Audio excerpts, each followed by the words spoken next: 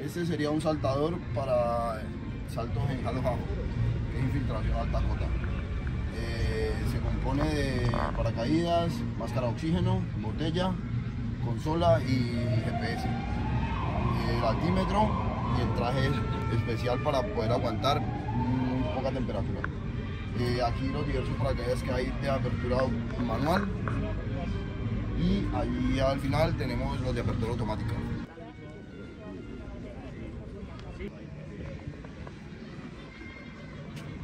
En el estable de la compañía de zapadores del, del TC Armada lo que tenemos expuesto es el diferente material que tenemos eh, en la unidad.